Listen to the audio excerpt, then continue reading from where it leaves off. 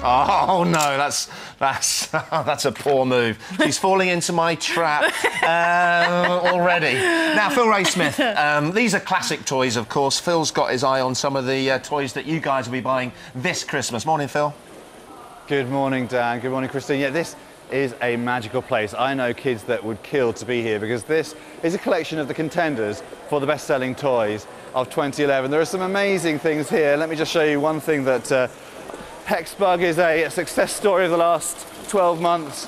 There's a new set of uh, sort of platforms and runways available between 25, 35 pounds.